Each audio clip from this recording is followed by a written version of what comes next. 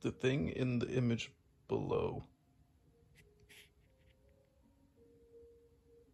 In the bad guy doesn't equal villain video is the bad guy and darkness is in the image of this video.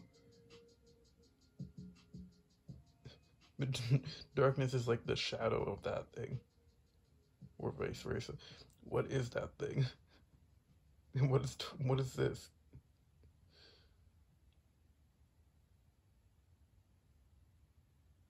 Is darkness just a is darkness a portal for that thing to move between anything?